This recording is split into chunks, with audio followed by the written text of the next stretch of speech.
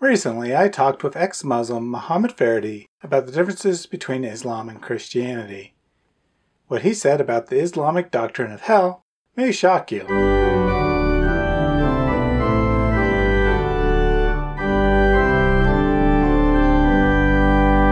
So, you've been a Christian for a decade or so, and you had, uh, of course, a couple decades in Islam, so you know both religions pretty well. What would you say the key differences between Islam and Christianity are?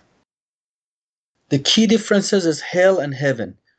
One ends you in hell, one ends you in heaven. Islam will definitely guarantees the Quran promises every Muslim.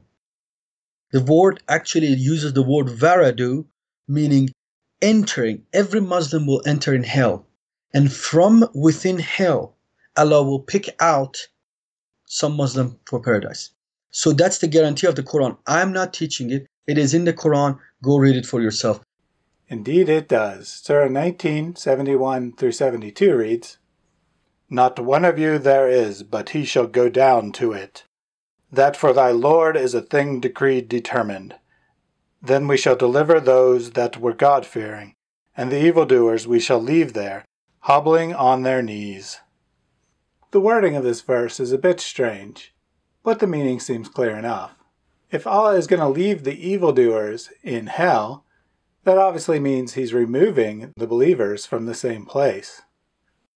Muslims try to deny the clear meaning of this text, but when we look at the extended context, it becomes even more obvious.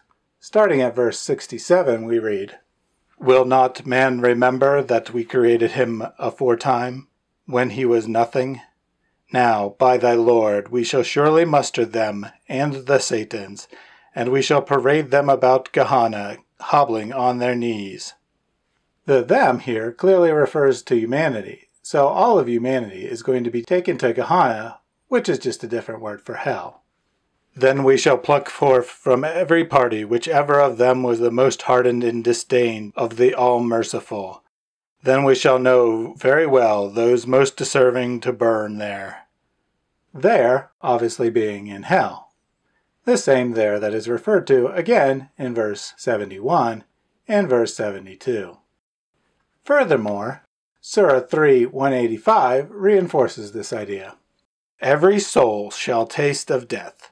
You shall surely be paid in full your wages on the day of resurrection. Whosoever is removed from the fire and admitted to paradise shall win the triumph. The present life is but the joy of delusion. Obviously, if some people are being removed from the fire and put into paradise, they were first in the fire. That is hell. So it seems clear that in Islam, everyone goes to hell. Guarantee of Islam for Muslims, for its followers, for the people that they submitted is hell. But Jesus said himself in red letters in the Bible, said in the book of John, chapter 5, verse 24, If you believe in me and who has sent me, you will not come to judgment. You have passed from death to life.